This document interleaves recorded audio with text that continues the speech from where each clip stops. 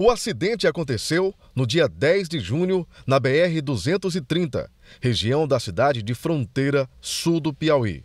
O carro, e que algumas jovens retornavam de uma festa de aniversário, acabou capotando na altura do quilômetro 30.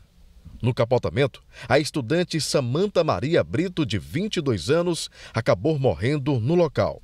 Quase um mês depois do acidente, um vídeo gravado de dentro do carro no momento do acidente foi divulgado em redes sociais. Isso pode mudar as investigações. Nós tivemos acesso ao vídeo. Esse vídeo serviu para esclarecer as causas que motivaram a perda de controle do veículo. Então, dessa forma, nós observamos que em determinado momento a passageira passa a realizar uma, a gravar um vídeo em redes sociais e as pessoas todas animadas.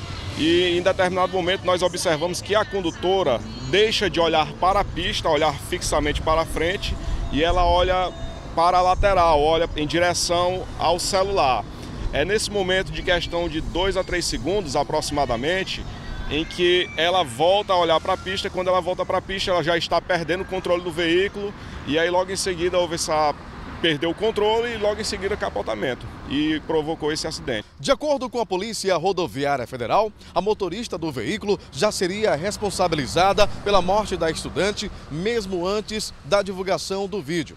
Agora, as imagens irão servir apenas para comprovar as verdadeiras causas do acidente ela era condutora, então ela já tem uma certa responsabilidade com o vídeo ou não.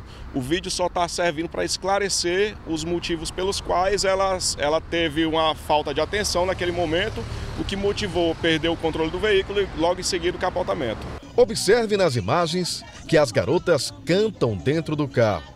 No banco de trás, algumas delas estão dormindo tinham pelo menos seis pessoas dentro do carro, acima do limite máximo de passageiros.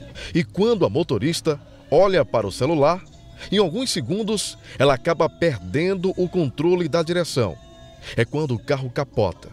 E infelizmente, uma tragédia acaba acontecendo.